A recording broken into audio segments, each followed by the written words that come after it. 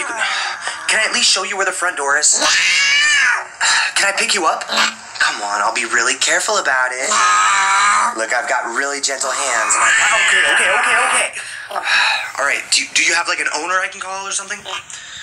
Should I send Sylvester back in here? Would that would that help?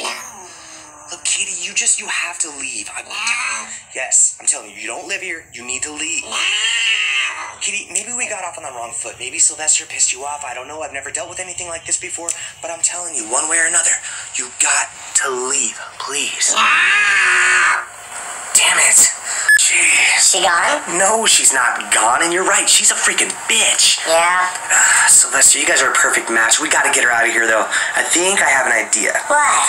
I think a peace offering. Huh? You know, give her some food. Oh. Bribing kitty cats with food always works. Yeah. I'm gonna try it. I'll be back. Okay. I brought you a present. It's wet food. It's delicious. You should try some. Ah. Okay, okay. You don't want wet food. I'm gonna try and pet you again, nice and soft, like that. Okay, okay, okay. Is there anything that I can do? Kitty, I need you to work with me. Somehow we have to get. Kitty, look, this is my house. I'm gonna try this one more time, okay? This is sole fish and salmon in salmon flavored gravy. It's delicious. You should try some, okay? Just give it a shot, and then maybe we. Ah. Come on, Kitty. Just... Okay, okay, okay. Jeez, God.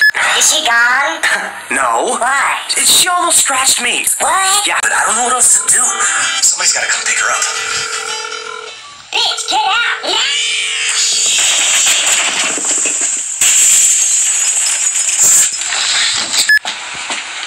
Oh no. She's gone. I, I see that.